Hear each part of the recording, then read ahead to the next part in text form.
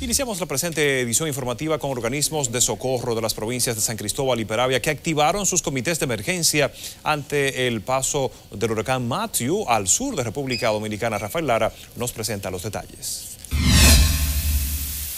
Gracias, buenas tardes. El Comité de Emergencia de la provincia de San Cristóbal realizó un encuentro la mañana de este jueves con el propósito de coordinar las medidas preventivas ante la posible llegada a esta zona del país de la tormenta Matthews. En este momento estamos eh, eh, al inicio de una reunión del PMR o del Comité de Emergencia Ampliado de la provincia de San Cristóbal, precisamente para recibir y dar todas las informaciones correspondientes al fenómeno llamado Matthews, pero al mismo tiempo eh, planificar todas las acciones que de manera preventiva debamos tomar en cuenta para eh, eh, responder a las acciones que hay que tomar en cuenta, fruto de, lo que pueda ocurrir. O sea, a partir de este momento eh, quedan quedarán activados todos los organismos de socorro del PMR de San Cristóbal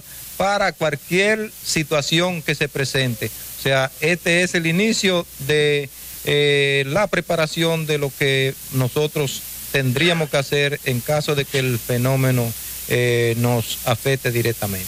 A partir de esta tarde podría empezar a sentirse los reflejos del fenómeno atmosférico Matthew, según el director de operaciones de la Defensa Civil en la región sur corto. Como región sur, la Oficina Nacional de Meteorología prevé que a partir de esta tarde comenzaremos a, llevar, a, recibir reflujo de, esas nubes, pero ya mañana es el, que comienza, eh, comenzaremos a recibir la mayor cantidad de lluvia, esperándose que para el fin de semana, si no nos toca, no nos toca tierra, o sea, no nos toca tierra República Dominicana, pues tengamos esa cantidad de lluvia en, el país.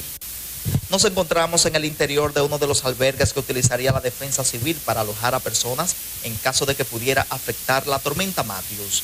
Rafael Lara, CDN. Rafael, gracias por estas informaciones.